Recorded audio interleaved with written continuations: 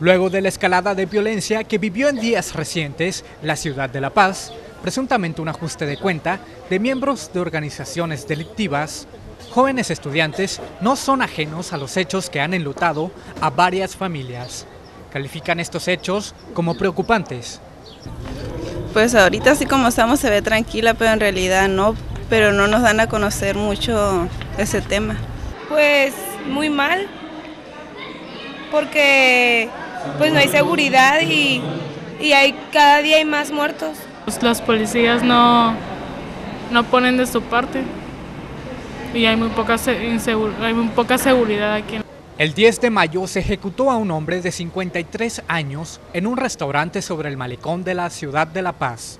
Y el fin de semana se encontró a dos hombres de 24 y 35 años de edad que presentaban el tiro de gracia.